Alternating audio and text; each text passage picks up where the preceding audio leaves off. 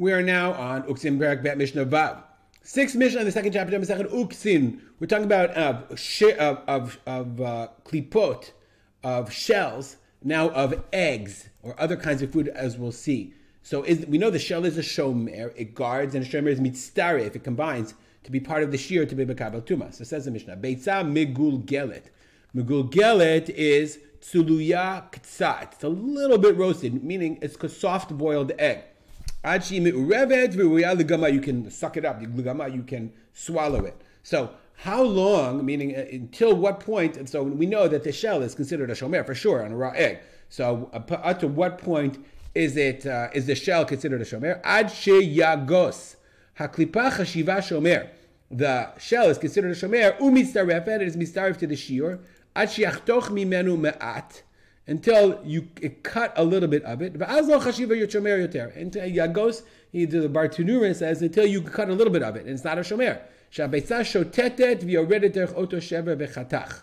Okay, so that because the then it, it oozes out of your soft boiled egg. Migulgelet means it rolls. So your soft boiled egg, once you I guess puncture it, okay, once you puncture it and the egg can ooze out, then it's no longer a shomer because what are you going to do? The egg you can suck it out through there. Just so you know, there are a lot of different girsa issues uh, on this Mishnah because the, the, the words are interesting. Yagos. So I'll just show you again on the Al HaTorah Mishnah website. One of the really cool features is they have, you can read the Ketav Yad Kaufmann. So they have Ad She Yages, which is probably the same word.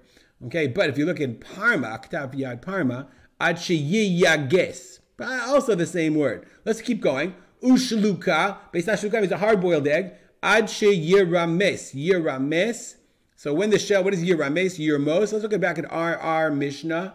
We have ad she yirases. Risasim. Remember we had that word? So it's like there's a gear but it's clear the same thing is true. Ushluka. Okay. Avalim shluka beitza. V'shi kasha. If you boil the egg, and it's a hard boiled egg. Okay, le'olam chashiva klipa shomer. The klipa, the shell, is always a shomer. Ad mirutzetzet, miratzetzet, meaning until you crush it right? Because remember, the, the, the, shell is there and it's guarding the egg, and you can really like you can you can you know give it a hard time, and the shell is still going to be a protection for the egg for quite a while. So until you rases, remember we had that last time, the last time Mishnah.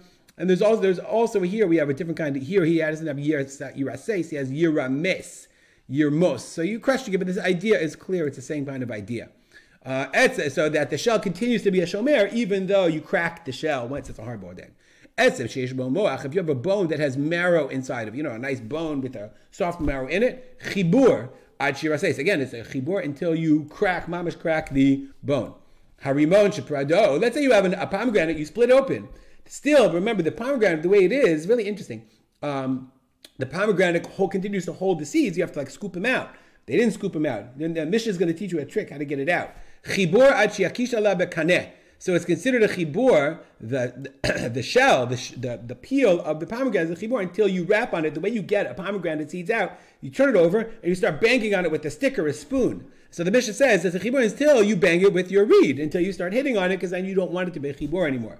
Kiyot sebo. And if you didn't know that, that's, you, that's how you get the seeds out of a pomegranate. You turn it over into a bowl, bap, bap, bap, bap, bap, hit it with a spoon, and uh, now you, you know Mishnah is not just good for Mishnah, it's good for cooking tips. Kiyotzebo, similarly, shalala kovsim, v'habegeshu tafur b'klaim, shalala kovsim, uh, like how do you make sure you don't lose socks? Shalala kovsim, derech kovsim, the, the, the clothes washers, lishlol begadim hakatonim agadol, k'dei shalo yovad.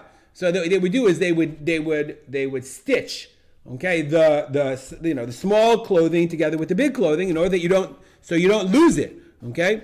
They would, it's like a stitch or a where biklayim, if you if you had a beged, like a wool beged that you sew that was sewn with kilayim with linen string, you got to take it's going to be taken apart. Nonetheless, if the tame touched one of them, chibur, that's considered a connection, and the whole thing is tame until you begin do a movement. Okay, why? Because he says maaseh motzibide maaseh. It's stitched together, so it's always going to be together until you have a maaseh, another action to take them apart. Let's stop here. Dedicate our learning to remembering my father, Rabbi Yitzchak Kalman. Make it a great day.